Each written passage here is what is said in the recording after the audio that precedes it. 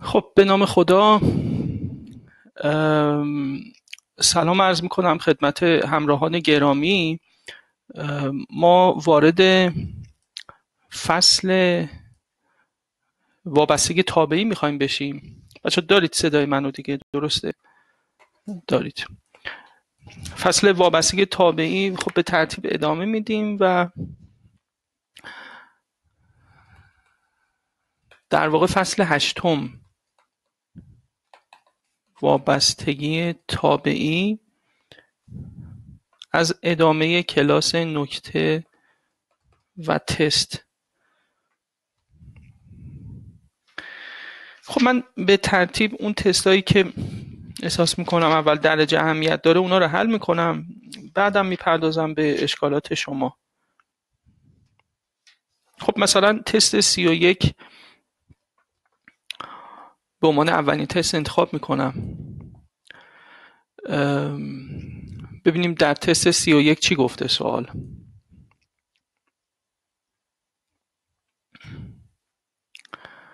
تست سی و یک. بچه ببینید گفته که با داشتن رابطه مثلا اینطوری آر آ و ب و تو کل این دو تا فصل چند تا تست بیشتر نیست که شما احتمالا مسئله ده. من همونا رو حل می‌کنم. و اگه نیاز بود بیشتر. گفته این جدول رو اینطوری داریم. A B C D E. بعد وابستگیاش هم به من داده. گفته که به می‌دهد چی رو؟ C. C می‌دهد آ را. C می‌دهد BD را. و دی هم می‌دهد ای را. درسته؟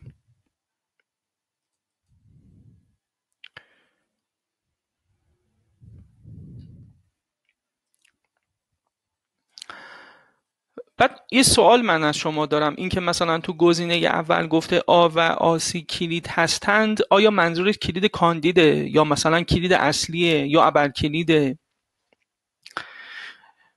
قاعدتا منظور این سوال نه دیگه نمی‌دونیم. وقتی که میگه کلید سوالی به وجود میاد که آیا ابر کلیدم کلیده؟ صد درصد. یعنی اگر با ابر کلید شما جستجو بکنی یقه یه نفر رو می‌گیره میاره. صد درصد. در واقع من بارها گفتم که ابر کلید یه رجال سیاسیه که ممکنه که اینا رو گفتیم دیگه. حالا اگر یادت نیست دیگه.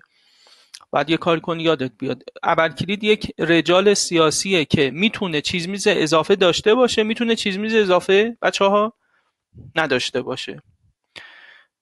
حاشیه است. می‌تونه حاشیه داشته باشه می‌تونه حاشیه نداشته باشه. رجال سیاسیه. کلید کاندید چیه؟ کلید کاندید یه ابرکلیدیه که حاشیه نداره یعنی چیز میز اضافه نداره بی حاشیه است. مثالش رو دیگه نمی‌زنم چون حالا فیلم ضبط میشه و اینا. ولی خودت قبلا نمیم گفتم نمیم چرا. مثالش وجود داره دیگه. حالا بعد مردم میرن بر, اساس سلیقهشون به یکی از اون کلیدای کاندید رنگ میدن میشه کلید اصلی. قبول این حرف من؟ و حتما یک جدول چند تا کلید اصلی داره؟ یه دونه صد درصد یه دونه داره. همیشه یه دونه کلید اصلی داره. می‌تونه چند تا کلید کاندید داشته باشه؟ می‌تونه چند تا ابر کلید داشته باشه؟ اگر جدولی یه دونه کلید کاندید داره صد درصد یه دونه هم کلید چی داره؟ اصلی داره. و قاعدتا کلید فرعی هم مثلا نداره دیگه. یعنی همون یه دونه کلید کاندیده که همون میشه کلید اصلی و کلید فرعی هم نداریم ما. یه نکته هم به شما بگم بچه ها مثلا این جدول به شما میدن. اینا چیزایی که من می‌پرسن از ما حالا شما هم بپرسین خوبه می‌پرسین بعضیاتون. بچه اینجوری یه خط می‌ذارن زیر مثلا ستون آ. این خط نشانه چیه اصلا؟ تموم شد و رفت. هنوز اینو خیلی ها نمیدن شماها نه شماها می‌دونید. خیلی ها دیگه نمی‌دونن. این نشانه کلید اصلیه. این نشانه کلید کاندید نیست که. این نوتیشن در واقع تو ای آر هم هست. تو مدل ای آر اصلا گفتن خط می‌کشین. نشانه کلید اصلی این چه ربطی داره اصلا به کلید کاندید؟ و مثلا بهتون یاد داده بودم که تو صفت ممیز مثلا اگه اینجوری چند تا نقطه زیرش بذارن این میشه صفت چی؟ ممیز. که در واقع بله مثلا با صفت ممیز ما نشونش میدیم. به حال اینا نکاتی که شما باید بهش دقت بکنید. فیلم همه این بخش ها هست اگه نیاز بود بهش یه اشاره بکنم. مثلا من یه مگه نگفتیم کلید خارجی می‌تونه مقدار null بگیره؟ پس چرا اگه جدول اصلی بخواد پاک شه پاک نمیشه به خاطر خاصیت ارجاع؟ نه نشد خانم اوخل این سوال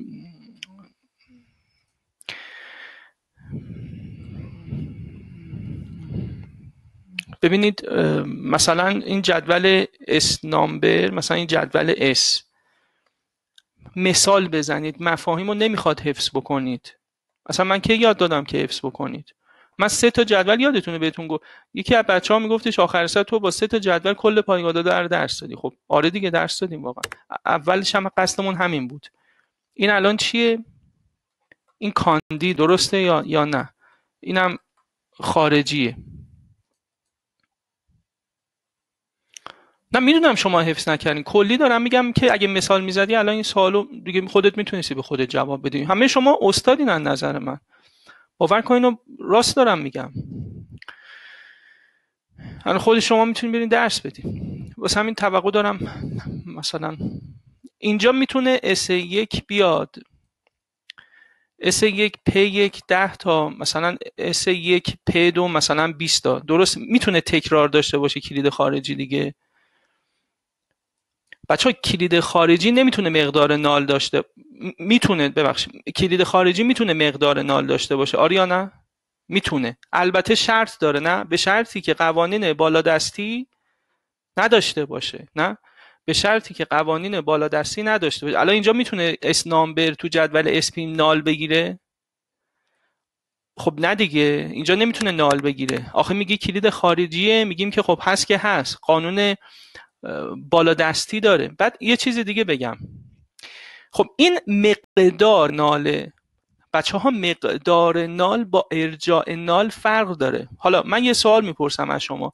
آیا ما حق داریم جدول S رو پاک کنیم بزنیم delete حق داریم S رو پاک کنیم؟ نه. چرا؟ چون چی به وجود میاره؟ مقدار null به وجود میاره یا ارجاع null؟ ارجاع نال. ارجاع نال به وجود میاره. حالا اگر ارجاع نال مثلا یه طوری بود که هیچ نوع ارجاع نالی به وجود نمی اومد آیا می‌تونستیم بعد اسو پاک کنیم؟ آره دیگه اگر مثلا جدول اسپی اصلا خالی بود. اگر اسپی توهی بود خالی بود می‌تونستیم اسو پاک کنیم. ولی تا مادامی که ارجاع نال وجود داره نمی‌تونیم. خب مثلا این حرفایی که زدیم دیگه هولش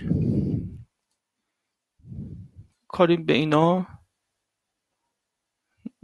نداریم. حالا باشه چون داره این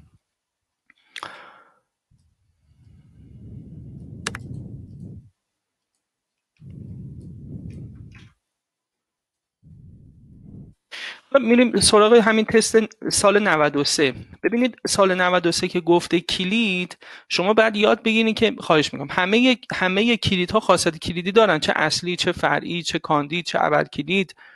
خاص... اصلا خاصیت کلیدی یه تعریفه. خاصیت کلیدی یعنی چی؟ خاصیت کلیدی به عنوان یک تعریف یعنی اینکه اگه بر اساس جستجو کنی یقه یه نفر رو بگیره برداری بیاره. هر چیزی که اینجوری باشه 100 درصد ابر کلیده یعنی 100 درصد کلید خاصیت کلیدی داره 100 درصد ابر کلیده. دیگه بقیه‌اش دیگه مشخص. کاری که ما باید بکنیم تو این حل در واقع اینه که عضو پیدا کنیم. یعنی آ ب س د این منهای چی بچه ها منهای آ ب س د یعنی توهی شد. یعنی میشه قانون چندم؟ میشه قانون چهارم. وقتی که میشه قانون چهارم ما دیگه باید بریم به سمت آزمون و خطا کردن. توهی شده دیگه. مثلا نمیشه بگیم که اینجا هم مثلا من یه چیزی بگم که جواب بده. خب نمیشه واقعا. نمی‌تونیم از قدرت علم و غیب استفاده بکنیم. مثلا من یه چیزی بگم که بشه. خب توهی شده. واقعا نمی‌تونیم کاری بکنیم اینجا. کاری نداره. یه کمی نگاه کنیم به وابستگی ها با کمی آزمون خطا میشه. چی رو ننوشتم؟ آی رو ننوشتم. آی؟ آی چیه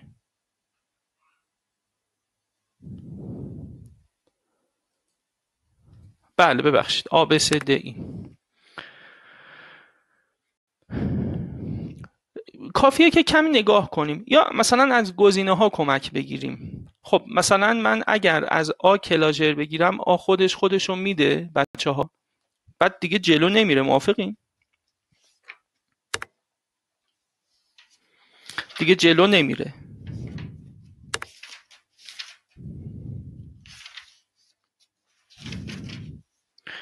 خب هیچ اینکه هیچ جلو نرفت استاپ. بیایم مثلا از سی بگیریم. بیایید از سی بگیرید. سی خودش خودشو میده سی آ رو میده. بچه سی رو دارم بد رو میده. و د رو دارم ای رو میده آبرم دارم. نگار همه رو داد. آ ب س د ای همه رو داد. بچه همه رو چیکار کردین؟ داد. پس این کاندیده دیگه. آیا می‌تونیم بگیم صد درصد کاندیده؟ آره دیگه چون عضو زائد نداره. خیلی مهمه این حرفها. عضو زائد ندارد.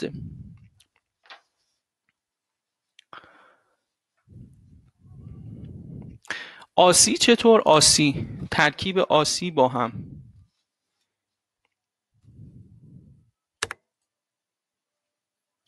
آسی چیه؟ بچه این ابرکلیده. چرا ابرکلیده؟ به خاطر اینکه سی به تنهایی همه رو میده دیگه. هرچند آسی بچه اگر چیزی ابرکلید باشن باز همه رو میده دیگه. خب می‌دونیم آره همه رو میده. مثلا آ با سی اینو میده الان. با توجه به چیزایی که داریم سی. بی دی رو میده و سی آرم میده که به درد نمی‌خوره ایرم میده آ ب س د همه رو داد. ولی ابرکلید قطعا. بعد من به شما چی یاد دادم؟ گفتم اگر مثلا یه چیزی مثل سی شد کاندید ما می‌تونیم کاندیدای دیگر رو از طریق اون لو بدیم. لو بدیم. کافیه که نگاه کنیم در سمت چپ کیه که سی میده. می‌تونی بگی الان نظر بدی؟ آبه درسته؟ آ خب بعد آبه رو چک می‌کنیم. قطعا میشه کاندید. آره بچه ها کاندید میشه. اگر وسواس داشتی می‌تونی بررسیش کنی. اولا آبه خب معلومه دیگه آبه وقتی سی رو میده دیگه میشه داستان میشه روز از نو روزی از نو نه؟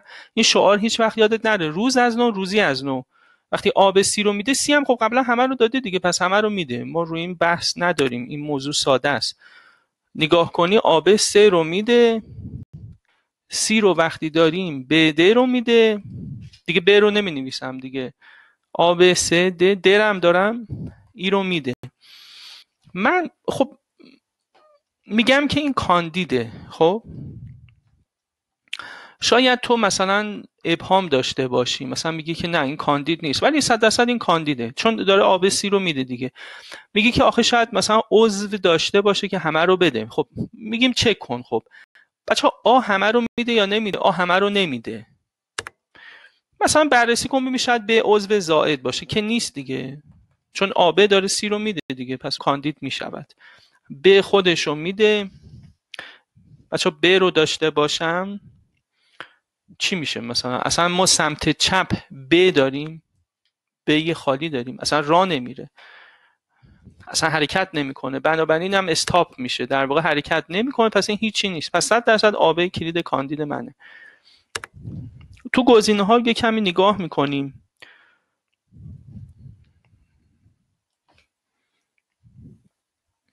مثلا دی خالی چطور؟ دی خالی. دی خالی خودش خودش رو میده نه بچه ها بعد دی ای رو میده. گوش میدی؟ ای رو میده بعد چی میشه مثلا؟ هیچ هیچی نمیشه. استاپ میشه. پس دی خالی هم هیچی نیست. تنها کسایی که چیزی بودن سی هست و آبه. یه ذره دیگه نگاه کنیم ببینیم دیگه چیزی می‌تونیم پیدا کنیم.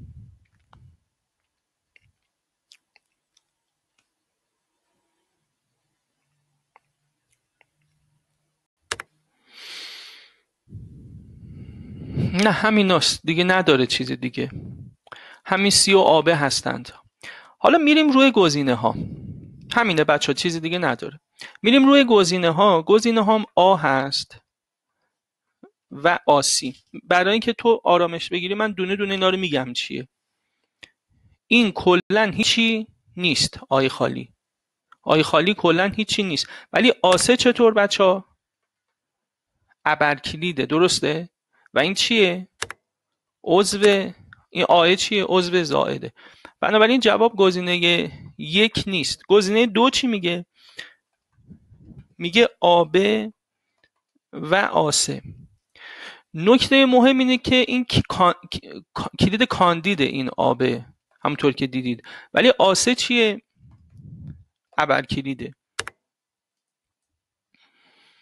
یه کم دیگه گزینا رو بررسی کنیم ببینیم مثلا خب گفته کلید دیگه فقط. ببینیم منظورش اینه که هر نوع کلیدی یا نه مثلا ابر کلید. وقتی نمیگه خب ابر کلید باید فرض کنیم دیگه یعنی هر چیزی که خاصیت کلیدی داره. عاده چطور؟ خب این آس ابر کلیده ولی بچه عاده چطور؟ هیچی نیست. عاده هیچی نیست. هست؟ هیچی نیست. چون دی رو بررسی کردیم هیچی نبود دیگه. آ هم تکی بررسی کردیم هیچی نبود. گزینه چهار. آده مثلا سی دی. آده که هیچی نیست. سی دی چطور؟ آها سی دی هم بچه ها چیه؟ ابر کلیده این چیه؟ دی؟ عضو زائده یعنی مقدار حشوه دیگه یه چیز اضافه است. کدوم گزینه رو می‌زنیم؟ قاعدتا باید گزینه دو رو بزنیم. دولتی 93 دولتی 96 رو برید بزنید. اصلا هر تستی دلتون می‌خواد بزنید. فرقی به حال ما نداره قاعدتا. الان 96 ها تو کانال من پاسخش هست. همینجوری با نگاه می‌تونید بزنیدش.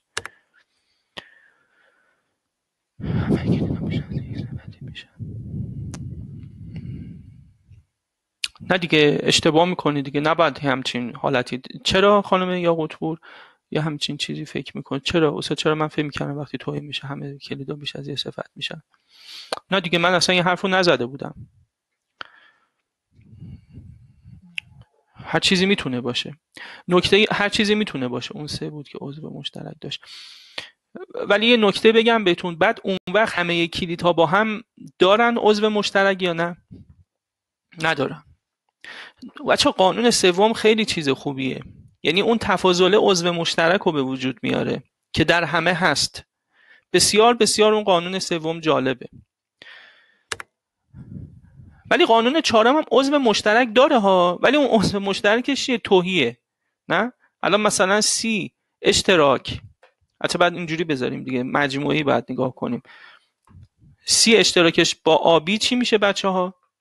با آبی میشه توهی بارها و بارها گفتم دو به دو نگیری سه به سه دو به دو. همه با هم. همه کلیت ها با هم. نکته دیگه این سوال اینه که سوال شاید از من بپرسی آیا کلید کاندید دیگه ای داره؟ نه. صد درصد نداره دیگه. با هم بررسی کردیم. قوی باشید استاد باشید. به قطیت بگید نداره نه. نداره واقعا. هرچی بود گفتم. پس سوال ابر کلید می‌خواد.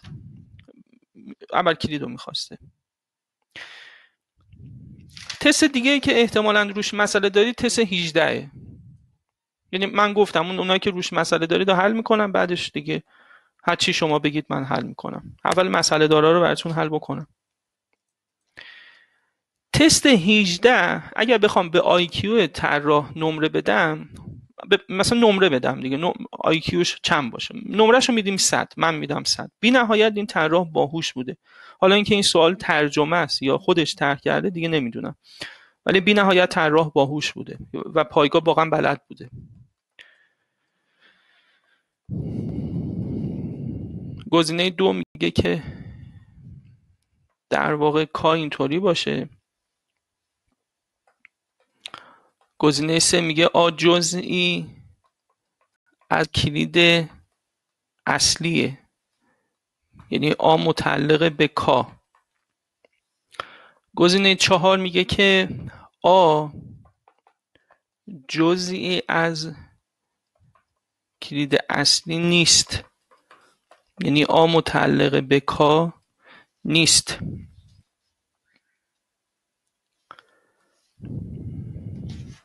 سوال 18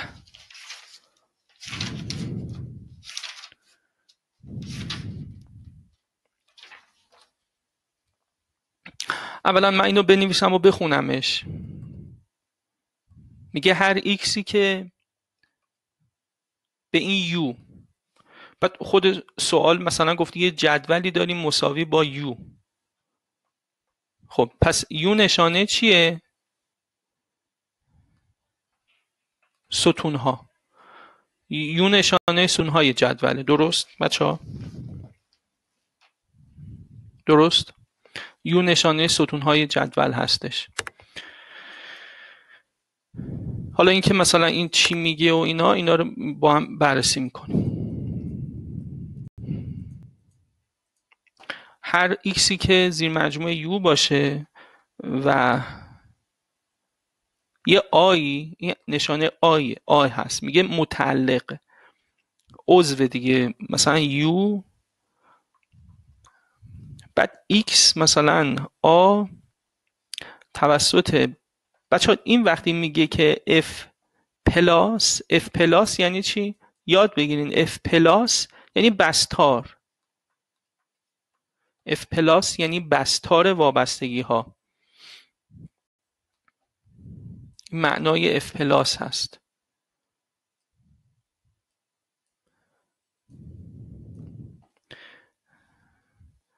آ متعلق به F plus اند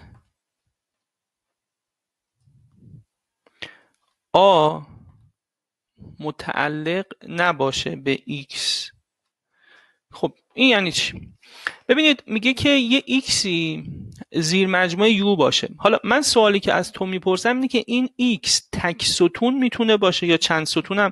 آیا باید تک ستون باشه یا می‌تونه چند ستون باشه؟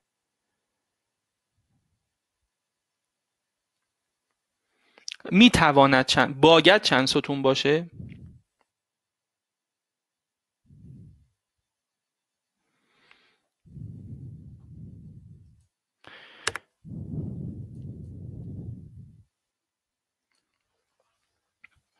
خب من قبل از اینکه اینو بگم یه نکته ای من یادتون بدم. اینو من یادمه که باید به شما می‌گفتم. بچه قانون اول من خودش چند تا روش داشت؟ یه روش اول داشت. یه روش دوم بود.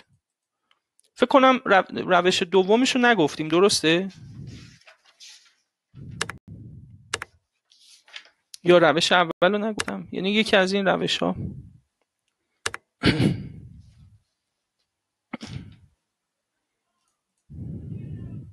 آره من روش هر جفتش اینجا براتون مرورش می‌کنم.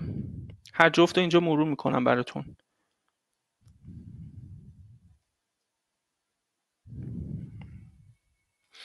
با مثال براتون میگم.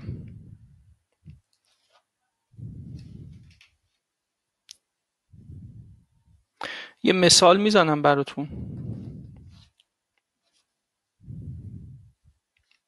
بچه مثلا فرض کنید که آ ب رو میده بعد B C رو میده D هم E رو میده بعد H هم مثلا A رو میده. قبول؟ خب این روش اول چجوری حل می‌شد؟ روش اول تو روش اول شما باید قدرت چیز چی رو داشته باشیم؟ اینکه بدیهی رو از غیر بدیهی بشناسیم. اولا بدیهی ها چیه؟ مثلا یه X ی X رو بده. بچه این بدیهیه نه؟ یا مثلا x y x رو بده. یا اینطوری بگم. مثلا شما فرض کنید که آ آ رو بده اینا بدیهی هن. یا مثلا آ ب آ رو بده یعنی این گندهه. که اگر مثلا اینو ما بگیریم x اینو بگیریم y اون وقت y زیر مجموعه کیه؟ X یعنی اون گندهه اون کوچیکه رو بده. اینا جز چیا هستن؟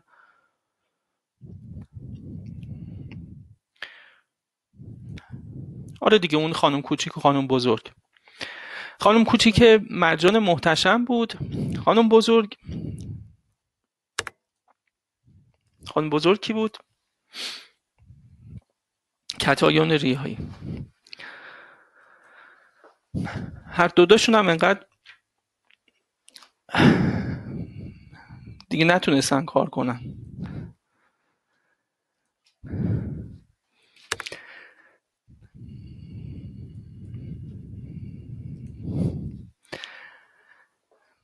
خب حالا به حال این اینطوریه دیگه. پس اینا بدیهی هن.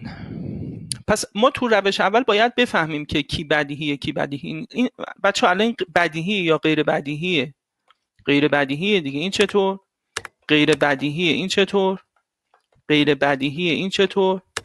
غیر بدیهیه. اگر می‌تونی غیر بدیهی بفهمی اگه می‌تونی غیر بدیهی بفهمی باید از روش اول استفاده کنی.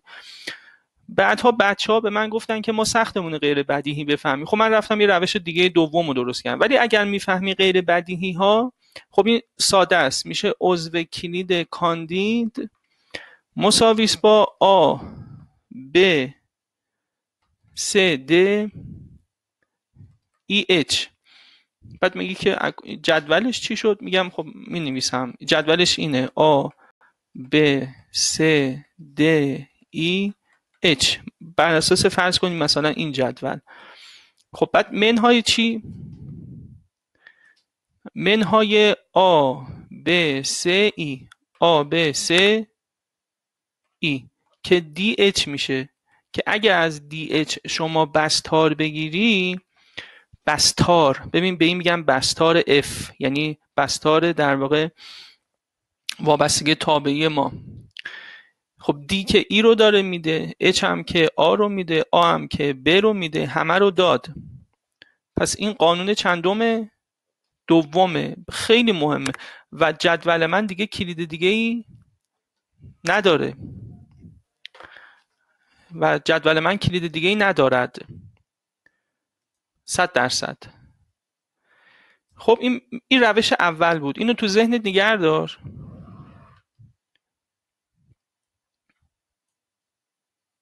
این روش اول. یه زمان هست تو نم... سختته برات. همین مثال رو با روش دوم حل می‌کنم. سختته برات بدیهی ها رو غیر بدیهی ها رو از هم تشخیص بدی. بعد من بچه این همون مثال دیگه. من اینجا یه مثال می‌زنم.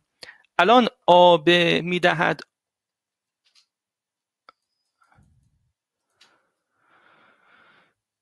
DH می‌دهد دی را. این الان وابستگی چیه؟ DH می‌دهد دی را. خب بعد اگر تو این الان بدیهیه. خب گوش میدی چی میگم؟ گوش بده چی میگم. بعد اگه حواست نباشه اینو حذفش کنی اون موقع د ای اچ منهای چی می‌کنیم منهای آ ب س د ای می‌کنی. بعد جوابت میشه چند؟ بعد جوابت میشه اچ یعنی اصلا رفتی تو جاده خاکی دیگه. اصلا خراب شد اصلا سوال. در حالی که باید می‌رسیدی به چی؟ به اچ باید می‌رسیدی. رسیدی به اچ چرا؟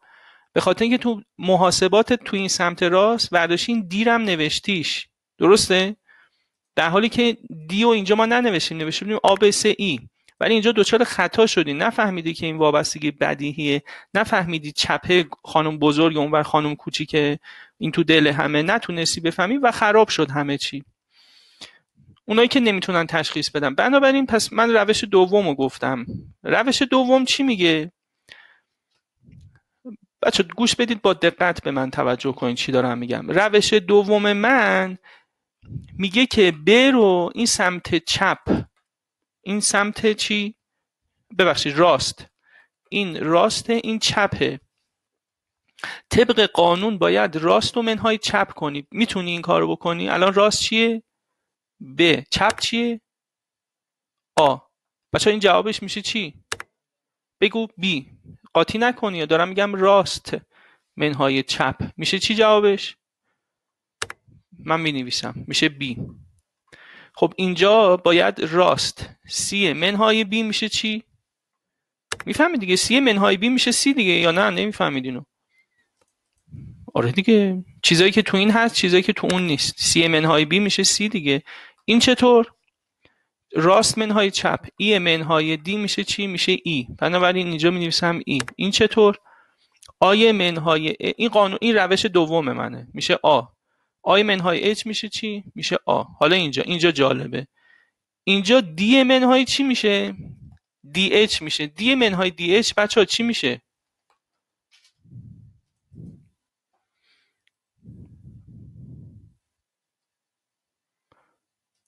دی منهای دی اچ چی میشه؟ میشه توهی. پس می نویسی اینجا توهی. حالا کل اینا رو با هم چی بگیر؟ اجتماع بگیر. میشه چی؟ میشه آ بی. ببین سی دی نداری. داری؟ دی نداریم و چی؟ یعنی توسط این راهکار وابستگی های بدیهی دارن حذف میشن؟ یعنی روش دوم خودش اتوماتیک وابستگی بدیهی رو داره حذف می‌کنه دیگه نه؟ آره دیگه اتومات خودش داره حذفش می‌کنه. یعنی ما اگرم نمی‌تونستیم من توصیه می‌کنم اگر یه, یه جای گیر کردی از روش دوم تست بگیر و کمک بگیر. بنابراین پاسخش چی میشه؟ به جای اینکه بشه میشه همون دی اچ خودمون. یعنی روش دوم باز به دی اچ ما رو رسوند. دقت کردی چی گفتم؟ پس این همون روش دومی که من گفته بودم بعدم میگم الان ایمون بعدن است. فقط کافیه که هر وابستگی راست و منهای چپ بکنیم و خود به خود این کار منجر به این میشه که وابستگی های بدیهی حذف بشن. بدون که من زحمت بکشم که تشخیص بدم کدوم بدیهیه کدوم غیر بدیهیه. خیلی خوب. برمیگردیم تو خود این سوال. پس ما فهمیدیم که وقتی علامت زیر مجموعه این علامت چیه؟ زیر مجموعه هست. بچه این علامت چیه؟ زیر مجموعه. این علامت چیه؟ عضویت. تو عضویت یه ستون باید باشه یا دو ستون یا سه ستون یا چهار ستون. چند تا یا یه دونه تو عضویت؟ همیشه تو عضویت؟ تک ستونه. تو اینجا دیگه نوشته عضو آ متعلق است به یو. یعنی به این تک ستون ها داره بررسی می‌کنه. اینجا معنی تک ستون میده.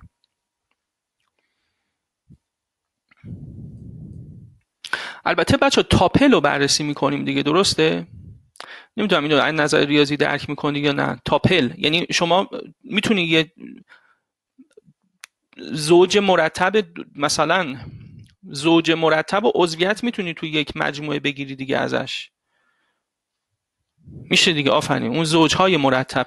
این الان مجموعه است. مجموعه های یو اینجوری هن. مثلا تک ستون آبه بعد این الان آب سه هر کدومشون یه تاپلن بچه ها خود آی تکی تو مجموعه یه تاپله. که در واقع بعد ما تعلقش رو مثلا می‌گیریم دیگه. مثلا آ متعلق به این در واقع. این می‌تونه این عضویت رو داریم در واقع چیکار می‌کنیم؟ چک می‌کنیم. پس اینجا چون یو تک ستونه هست پس این آ می‌تونه فقط تک ستون باشه. ولی وقتی که میگیم x زیر مجموعه یو یعنی می‌تونه چند تا ستون باشه. پس ترجمه کنیم. میگه که هر چیزی که زیر مجموعه یو باشه یعنی هر ترکیبی از اینا و اون آ متعلق به یو باشه. یه آی هم متعلق به یو باشه. بعد میگه که اون x یکی از بچه ها حرف قشنگی زد. گفتش اون x اون آ رو از طریق در واقع وابستگی های تابعی بده و بعد آ متعلق به x نباشه.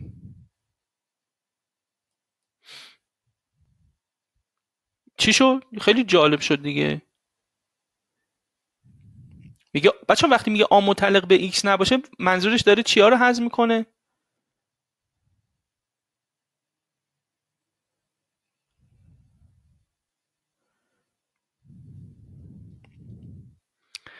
وقتی که x یه xی همه ستون مثلا یه xی یه xی در واقع می‌تونه این آ رو بده توسط وابستگی های تابعی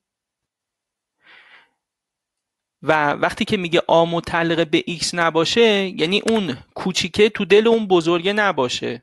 یعنی انگار که داره چیا رو حذف می‌کنه؟ وابستگی های بدیهی. انگار داره وابستگی های بدیهی رو در واقع برای من چکار می‌کنه؟ حذفش می‌کنه. بعد سوالم پرسیده که سوال 18 پرسیدی که کدام که از نتایج در مورد گذاری صادقه و درسته؟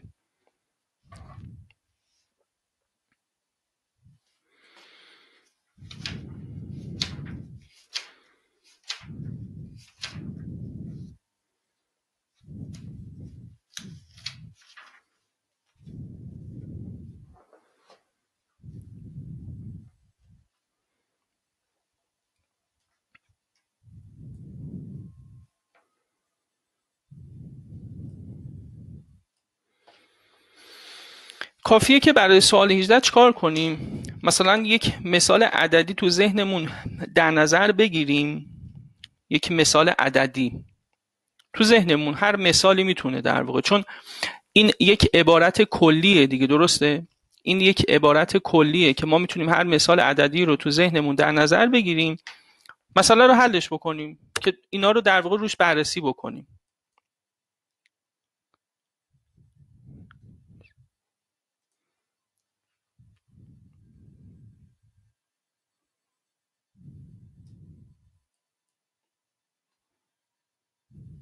وقتی غیر بدی هست پس جزو کلید کاندید نیست.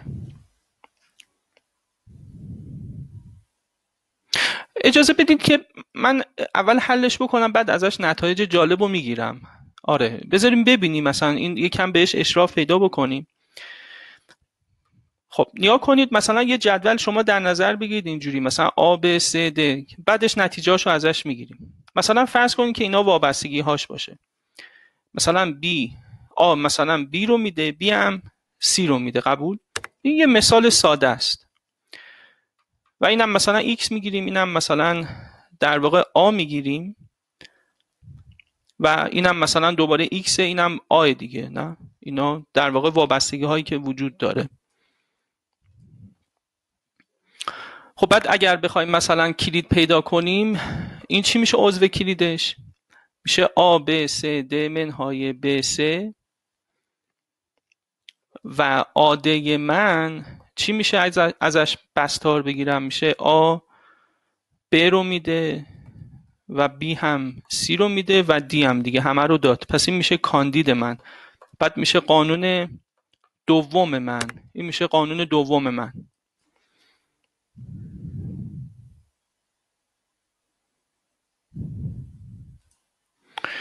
خب پس این که وجود داره و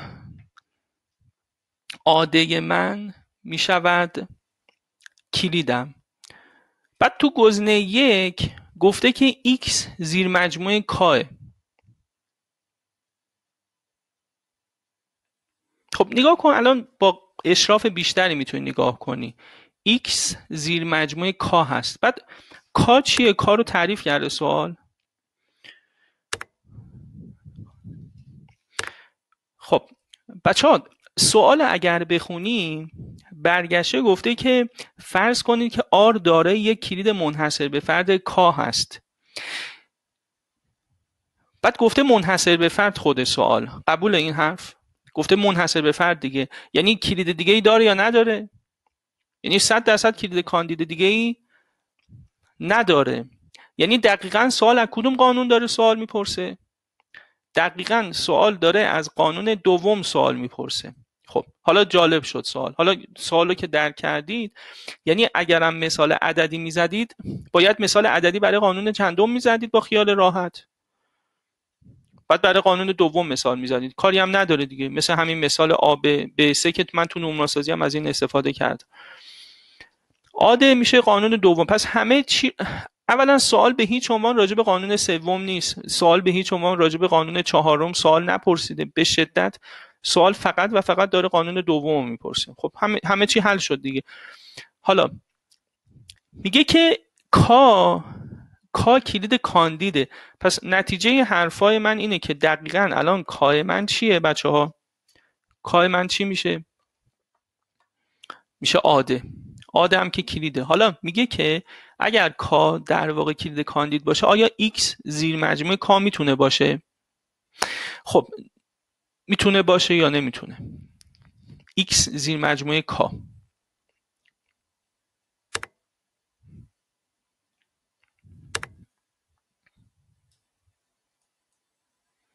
چرا نمی‌تونه باشه؟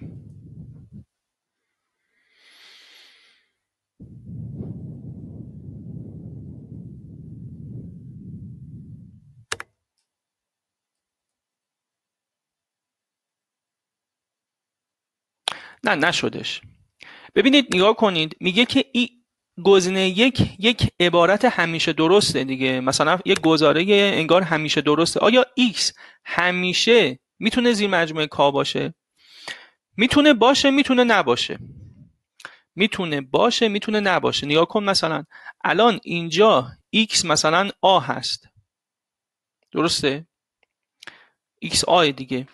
در حالی که x تو اینه که وابستگی چیه؟ B هست. B هست. بعد نکته که وجود داره b مگه در سمت راست نیست؟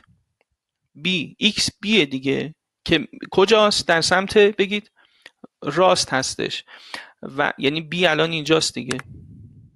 این b این x b و این b رو ما در سمت راست داریم و قاعدتا b چون در سمت راست ها موجود هست ما می‌دانیم که همیشه سمت راستی ها هیچ جایگاهی در کلید کاندید دارن یا ندارن؟ ندارن. هیچ کدام این به قطیت میگیم دیگه هیچ کدام از سمت راستی ها در کلید کاندید جایگاه ندارن. باید یه استارتر باشن باید یه شروع کننده باشن. به هر حال سمت راستی اصلا هیچ ارتباطی ندارن. این خیلی خوبه. ما همیشه سمت چپی لیاقت بودن در کلید کاندید دارن. تازه اونم نه همیشه. ولی سمت راستی لیاقت آمدن در کلید کاندید رو به شما ندارن. بنابراین گزینه یک غلطه یا درسته؟ خب غلطه دیگه. بعد مثلا میگه که x هیچ وقت عضو کا نیست. خب کافیه که x رو بررسی کنیم دیگه. مثلا این x آیا ب رو میده یا نمیده؟ خب x داره ب رو میده ولی در واقع آ آ تو دل این x که مثلا آ هست تو دل عضو تو دل کلید هست یا نیست؟ هست. البته بعضی وقتا هست بعضی وقتا هم نیست. بعضی وقتا هست بعضی وقتا هم نیست. بنابراین به قطعیت گزینه دومم غلطه. میگه که آ جزئی از کلید اصلیه. همیشه. خب آها مثلا بی و سی هستند. خب دوباره این خیلی حرف جالبیه دیگه. آهای من اتفاقا همشون چی هن؟ سمت راستن. موافقین؟ آ من همیشه سمت راسته. آ آ همیشه سمت راسته. و چون سمت راست هست هیچ وقت هیچ وقت نمی‌تونه یک گزاره همیشه درست باشه. ولی آیا گزینه چهار یک گزاره همیشه درسته؟ صد درصد. آ از آن جایی که ببینید طبق تعریف الان اینجا بچه آ چه جایگاهی داره؟ راسته. این چیه؟ چپه. هیچ وقت A یعنی شما با همین می‌تونید این تست رو بزنید. هیچ وقت A جزی از کلید اصلی نخواهد بود و این یک گزاره همیشه درست هست. حالا اینو من فارسیشو می‌خونم دوباره. میگه که هر X ی که انتخاب می‌کنی مثلا از U. بعد اون یا A ی هم انتخاب کن از U که اون X رو که اون X A رو بده. با استفاده از چی بچه ها اون X A رو بده با استفاده از چی؟ باز نه با استفاده از آره بستار. با استفاده از وابستگی تابعی ها مثلا یکی از X هایی که انتخاب می‌کنی آه خوبه بچه ها مثلا X تو بگیر A A تو می‌گیری چی مثلا؟ B درک می‌کنی. X رو بگیر A A رو بگیر B آیا با استفاده از وابستگی A می‌تونه ب رو بده؟ می‌تونه دیگه. به حال منظورش اینه بر اساس بستا. و جالبه که میگه که بر اساس بستار باشه و بعد آ متعلق به x نباشه ها یعنی بدیهی نباشه. و بعد یه سری گزینه مطرح کرده. قطع به یقین پاسخ میشه گزینه چند؟ چهار. و به عنوان یک عبارت همیشه درست تلقی می شود خوبی این سال نکته این سال اینه که درک بکنیم قانون دومه. و اگر واقعا این قوانین نباشه سراسر ذهن ما آشفته است و کاملا به هم ریخته است. هیچ نظمی توش نمیشه ایجاد کرد. ولی وقتی که ما بفهمیم که سوال میاد میره تو قانون دو میاد میره تو قانون سه میاد تو قانون چهار تکلیفمون مشخص میشه ذهنمون مرتب میشه آرامش هم به دست میاد. خیلی خوب. این سوال 18 که به نظر من سوال خوبی بود. سوال بعدی که شاید مثلا روش مسئله داشته باشیم سوال پنج و بیسته مثلا که من اینا رو الان خیلی جالب و باحال براتون حل می‌کنم کیف کنید. مثلا سوال پنج.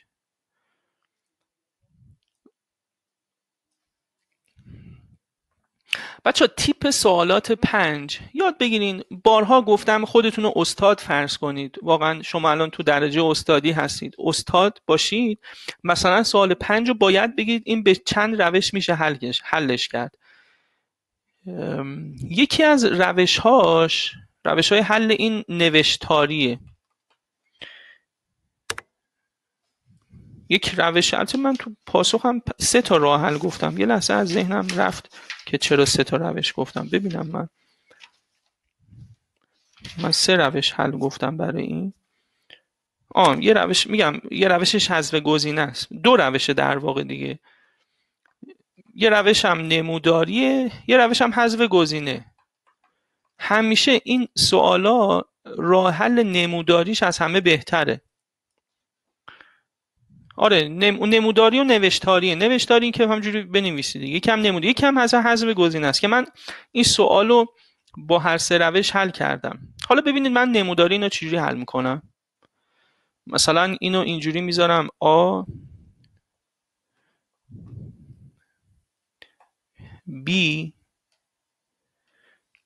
بعد مثلا اینم D بعد اینم C بعد این اینجوری اینم اینجوری اینم اینجوری بعد این اینجوری اینم اینجوری این آ هم اینجوری. گزینه هاشم که اینجوریه دیگه که در نهایت اینا همه با هم میشن اینجوری اینجوری. B سی رو میده آ سی رو میده. اینم که آ دی رو میده چهارم که گفته آب چی رو میده؟ سی رو میده. نتیجه این که این سوال گفته که مجموع حداقل FD چیه؟ خب بچه باهوش باشین. وقتی میگه مجموع حداقل FD چی میشه؟ یعنی ما باید بیایم مجموعمون رو چیکار کنیم؟ کمینه کنیم. یعنی باید اصلیا بمونن فریا چی بشن؟ حذف بشن. خب. آیا نیاز واقعا ما بیایم کمش کنیم تو وقت کنکور؟ بیکار نیستیم که بخوایم بیایم مجموعه کمینه درست کنیم. به خدا بیکار نیستیم. یه کمی درک کن چی دارم میگم.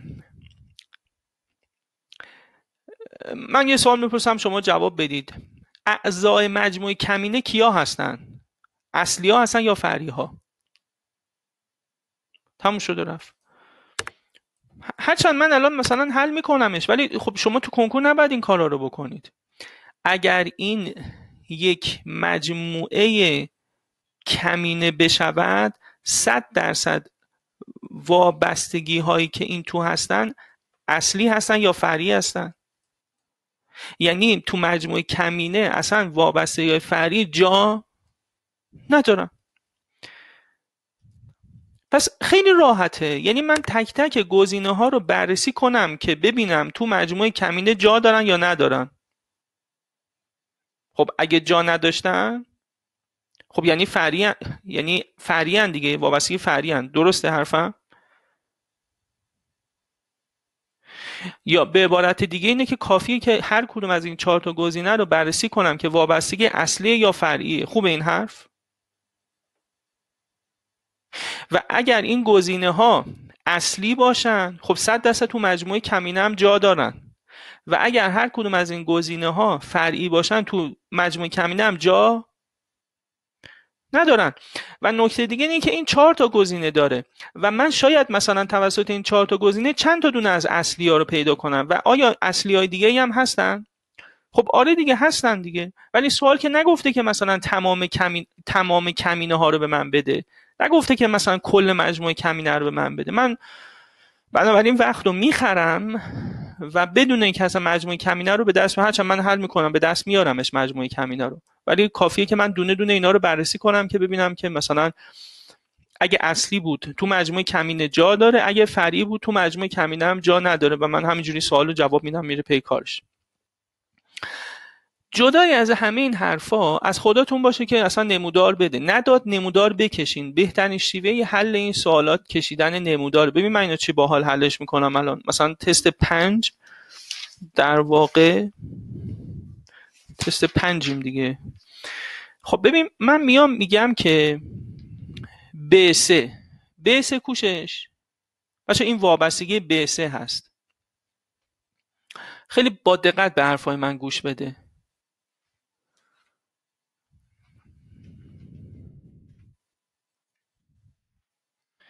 این مثلا وابستگی ب سه هست. من چی میگم؟ میگم آقا این پله رو توی همون خانم کوچیک و خانم بزرگ نگاه کنید رودخونه هم زیاد بود هوا هم بارونی بود. این ب سه رو برش دار. برداشتیش؟ مدل ریاضی وابستگی تابعی یک گراف است مدل ریاضی وابستگی تابعی یک گراف است دقت کردین چیکار کردم دیگه؟ این پل ب رو ورش دار. برداشتیش؟ بعد ورودی تو چیه؟ ورودیت مگه B نیست؟ یعنی تو تو شهر چی هستی؟ تو جزیره. اینا گاه اینا جزیرن. یعنی تو تو کجا هستی؟ تو اینجا هست. بعد این چند تا خروجی داره؟ این, این پلی که خرابش کردی این پلی که زدی خرابش کردی چند تا خروجی داره B؟ بگو دیگه. یه دونه خروجی داره که فقط و فقط بچه خروجی به C نداره ها. A بی خروجی به سی داره. ولی ب وقتی اون پلو خراب کردی تنها خروجی که داری خروجی به دی هست. خب پاشو بیا تو دی. مثل اون بازی موشه است. بیا تو دی. خب وقتی میای تو دی دی خروجی دیگه ای داره. نه دوباره دور بزن برگرد بیا اینجا. هی تا صبح هی بیا تو این هی برو اینجا. هی بیا اینجا هی برو. آیا تونستی بری سراغ سی؟ نتونستی دیگه. پس یعنی پل ب به سی چیه؟ صد درصد؟ اصلیه. دیدید؟ صد درصد پس پل بی به سی چیه بچه ها اصلی محسوب میشه. ببینید اینا رو اینجوری حل بکنید.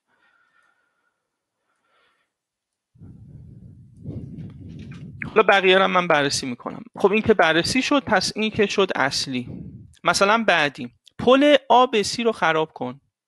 پل آب سی رو برش دار. نیا کن برش داشتم. درسته؟ آیا شما وقتی پل آب سی رو ورش داشتی وقتی که توی آ هستی می‌تونی یه جوری برسی به سی میگی که باید خروجیاشو ببینم. مثلا یه راه اینه که بیام برم تو دی بعد از دی بیام برم تو بی یا مثلا از آ بیام برم تو بی بعد از بی هم میرم تو سی آها شد. شد دیگه شد یا نشد؟ پس فرعی. دیدید؟ پس فرعی. حالت بعدی میگه آب دی. آب دی کوشش؟ آب دی. بهترین روش حل اینه. بچه من پل آب دی رو چکار کردم؟ برش داشتم. پل آب دی رو برداشتم. این چند تا خروجی داره؟ خب مثلا از آ بیام برم تو سی نه این به درد نمی‌خوره. این پله رو ندارم. ولی می‌خوام بدم که می‌تونم برم آب دی خب میام میرم تو بی بعد از بی میام میرم تو دی آها شد. پس این اصلیه این فرعیه. اینم فرعیه. درک می‌کنید چقدر دید بهتری به وجود میاد. بچه ها آ ب ب سی آ ب ب سی یعنی کدوم پل رو خرابش کنم؟ این پل موافقین؟ این پل باید خراب بشه؟ خب این پل خراب بشه. آیا من با آبی می‌تونم برم به سی؟ خب اصلا من با خود آی تنها دارم میرم سراغ سی. یا اصلا خود بی داره میره سراغ سی. می‌فهمید چی میگم؟ هم خود آ تنهایی میره سراغ سی و هم بی تنها تک و تنها میره سراغ سی. موافقید با اینا؟ و بنابراین این هم میشه چی؟ اصلی فرعی فرعی فرعی. پس تو روش نموداری ما قدرت بیشتری می‌تونیم داشته باشیم. همین. کدوم گزینه رو می‌زنیم؟ گزینه یک رو می‌زنیم و به راحتی این سوال حل میشه. خب یه نمونه دیگه هم مثلا من حل می‌کنم که بشه دو تا مثلا نمونه سوال ازش. مثلا تست 20 تست 20 هم همینه دیگه مثل همینه. مثلا این چی گفته؟ گفته که M. اینو میده. بعد اینجا پ رو داده به تو. بعد امت اومده تو پی بعد این اومده اینجا این رفته اینجا. بعد اینجا او شده. ان رفته توی او کل اینم رفته توی او بعد اینم رفته تو این. باش حلش نمیکن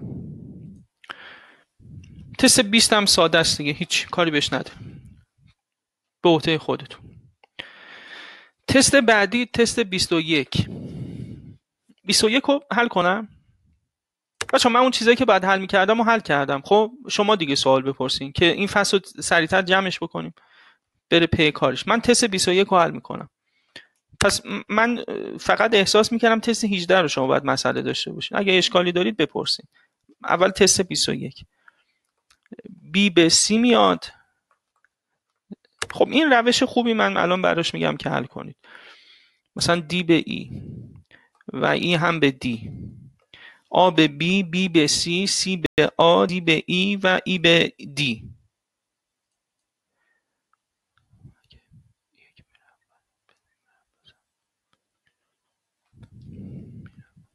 تو چه سوالی خانم قادری؟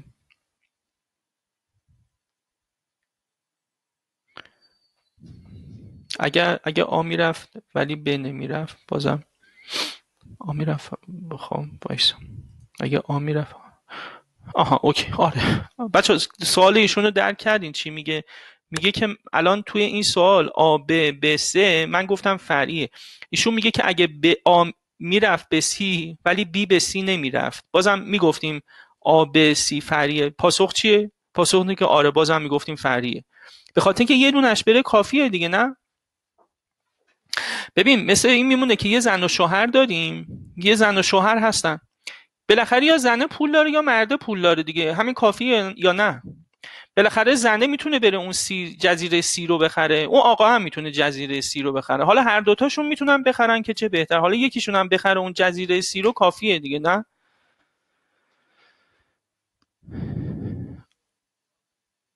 آره دیگه ما شدن الان.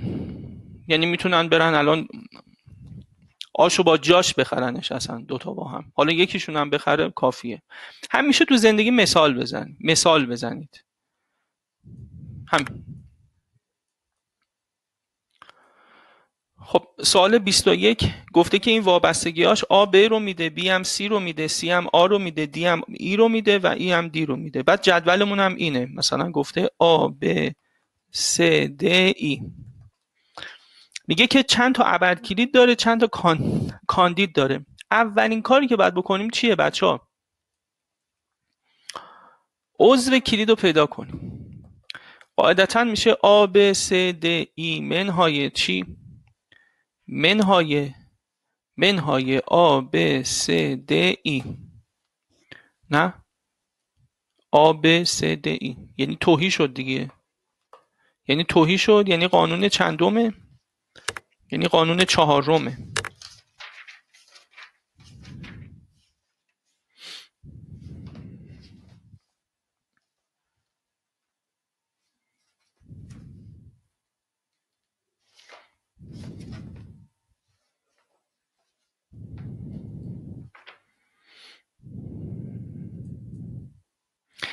خب وقتی که قانون چهارم میشه باید یه ذره آزمون خطا بکنیم. بچه آ داره ب رو میده ب هم سه رو میده سی هم داره آ رو میده. بعد دی هم داره ای رو میده ای هم داره دی رو میده. یه کمی باهوش باشه نگاه کنی می‌بینی که انگار دو بخش شده این. نه؟ بچه موافق این دی داره ای رو میده ای هم داره دی رو میده؟ و موافقید که آ هم ب رو میده هم سه رو میده؟ هم خودش رو میده. و جالبه که ب هم اگه ب رو بگیریم ب سی رو میده سی هم آ رو میده آ هم بی رو میده. و اگه سی رو مثلا بگیم سی آ رو میده بعد آ بی رو میده. یعنی موافق این که تک تک اینها یعنی موافقین با این چیزی که نوشتم؟ یعنی تک تک اینها یعنی آ آبسه رو میده. ب هم آبسه رو میده. سی هم چی رو میده؟ بگی دیگه آبسه رو میده. آره. و مثلا اینجا دی هم. دی ای رو میده. ای چطور؟ اینم اینجوری میده. اینم همینطوره. خب چیکار کنم؟ یعنی الان مثلا اون بالا یه حالت تک ستاره دارم پایین یه حالت دو ستاره دارم. یعنی یه دونه ستون از تک ستاره به اضافه یه ستون از دو ستاره. برای ساخت کلید کاندید کافیه نه؟ یه دونه از تک ستاره بردارم یه دونه از دو ستاره. خب پس من انتخابایی که دارم یه تک ستاره دارم یک دو ستاره. و دنبال کلید کاندید خودم هم هستم. بهترین کار اینه که چکار کنیم؟ خب این باید حساب بشه دیگه.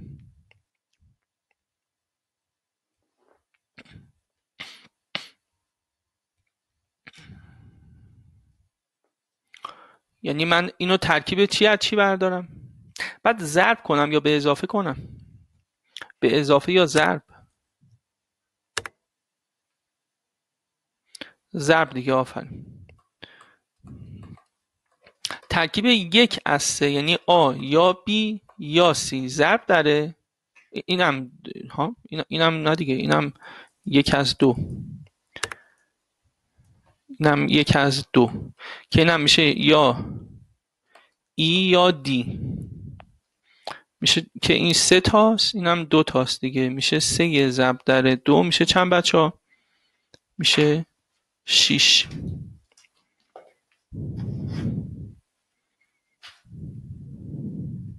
این میشه تعداد چیا؟ تعداد کلیدهای کاندید.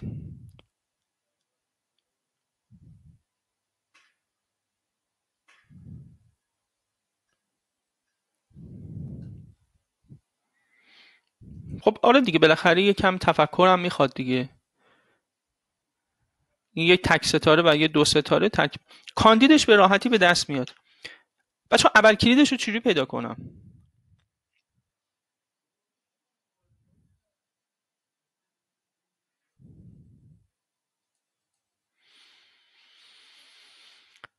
من دلم می‌خواد فکر بکنید. می‌تونید بگین ابر کلیدش چجوری به دست میاد؟ از تک ستاره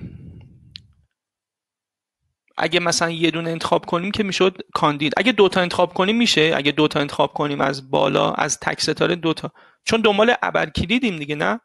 ابرکلید تو دلش باید حتما کلید کاندید رو داشته باشه یا نداشته باشه. ها چی گفتم؟ آره دیگه صد درصد ابرکلید. ابرکلید تو دلش. ساده بگیم. این خوب نیست بگیم ابر کلید کاندیدو توش داشته باشه. باید بگیم که ابر کلید تو دلش باید خاصیت کلیدی رو داشته باشه نه؟ حالا می‌تونیم هم بگیم که بله کلید کاندید هم می‌تونیم بگیم داشته باشه. حالا اشکالی نداره. ولی ابر کلید تو دلش اگه خاصیت کلیدی داشته باشه ممکنه که چیزای دورش باشن که عضو چی باشن؟ زائد باشن دیگه. درسته؟ و با توجه به این حرف ها اون حالت تک ستاره و حالت دو ستاره که مثلا آ ب س بود و مثلا دی ای بود موافق هستین که من اینجا یه علامت زبدر بذارم بعد بیام بگم ترکیب یک از سه به اضافه دو از سه به اضافه سه از سه. و یک از دو و دو از دو. به اینکه اینجا چرا ضرب گذاشتم و اینجا چرا جمع گذاشتم هم اشراف پیدا می‌کنید.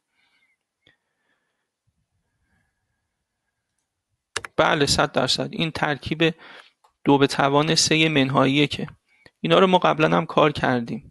دو به توان دو منهاییه که دیگه. اینا بدیهیه دیگه بچه ها نه مثلا صفر از سه به اضافه یک از سه اینا رو بلدید. من نمی‌خوام روش وقت بذارم. مثلا سه از سه این دقیقا چیه؟ دو به توان چنده؟ دو به توان سه دیگه. که اگه صفر از سه رو نداشته باشیم یه منهاییه که ازش کم می‌کنیم. یعنی این الان چه حالتهایی میشه؟ آ و ب و سی. این چه حالتهایی میشه؟ آ با بی. بی با سی آ با سی این چی میشه؟ آ با سی. این چی میشه؟ یا دی یا ای. این چی میشه؟ دی ای. حالا مثلا هر کدوم از این تک تک اینها مثلا آ می‌تونه با دی بره. آ می‌تونه با من سوال می‌رسم تو جواب بده. آ با دی. کلید چیه؟ آ با دی. آ با دی کلید کاندید دیگه. یا مثلا بچه ب س با د ای. آ ب س با ای. چیه؟ ای. اول کلید دیگه. پس کافیه که ببینیم که این چقدر میشه؟ این چقدر میشه؟ یه سه تا یه سه تا یه یه دونه. میشه چقدر؟ هفت این چقدر؟ یه دو تا یه یه دونه. این میشه سه تا. یا اینجوری بگو. هفت تا سه تا. میشه 20 و یه دونم ابر کلید داره. خیلی خوب. فکر کنم دیگه تست سختی نداره دیگه. فقط میمونه تست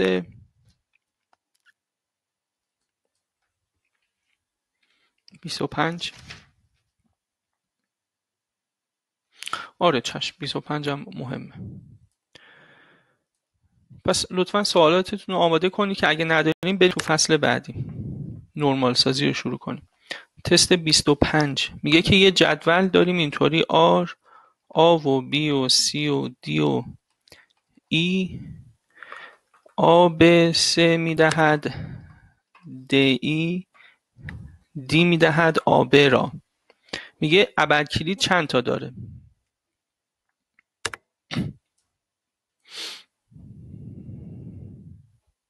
23 رو حل می‌کنم. چیه مگه 23 حل می‌کنم چشم.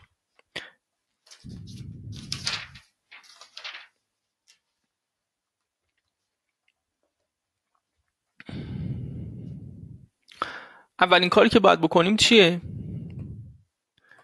عضو کلید کاندید رو پیدا کنیم. که میشه آ ب س د آ ب س د ای منهای چی؟ اولا بدیهی داره. اگر احساس می‌کنی نمی‌دونی مثلا بگو د ای منهای آ ب س چی میمونه د ای منهای آ ب س میمونه د ای آب منهای د می‌فهمی دیگه دارم من روش دوم قانون اول استفاده می‌کنم. آب منهای دی چی میمونه؟ آب د ای منهای آب س چی میمونه؟ د ای بنابراین میشه آب د ای آب د ای یعنی چی موند فقط؟ سی از سی بستار بگیر.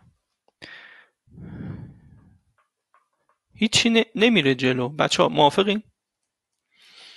خب خب این سوال قشنگی شد. میشه قانون سوم. آیا باید یه چیزایی بهش بچسبه؟ اوکی. اون چیزایی که بهش بچسبه خود سی که به خودش که نمیچسبه نه؟ دیگه چه چیزایی به سی نباید بچسبه؟ احیانا چیزایی که سی تولید می‌کنه. آیا اینجا سی چیزی اصلا تولید کرده؟ نه هیچ نه دیگه هیچی تولید نکرد. و اگر چیزایی تولید می‌کرد اونا به سی میچسبیدن؟ می‌گفتم پسر خوب من که اینا رو دارم. چیز اضافه چیز جدید چی داری؟ حرف جدید حرف تکراری که اینا رو نزن.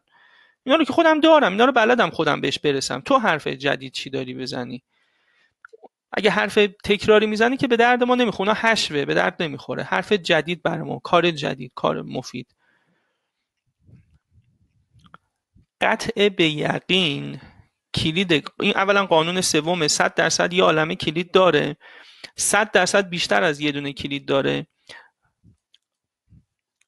بچه ما هیچ وقت قانون سوممون یه دونه کلید نداره ها. درسته حرفم؟ هیچ وقت قانون چهارممون یه دونه کلید نداره ها. تنها قانونی که یه دونه کلید داره همیشه قانون دومه. اگه یه جایی احساس می‌کنی که یه دونه کلید داری ولی تو قانون سومی اشتباه کردی. صد درصد همیشه قانون سوم و چهارم بیشتر از یه دونه کلید دارن. یا حالا دو تا سه تا. پس اینجا یه عالمه کلید داره که همشون اشتراکشون تو سی هست. یه ذره بعد یه کوچولو بررسی کنم.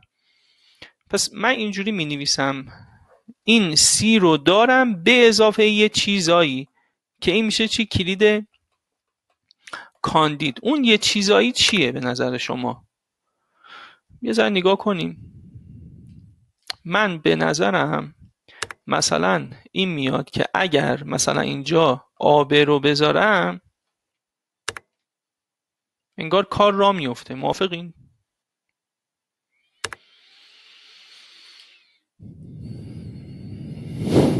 یه نکته دیگه هم بیاد بگیرین.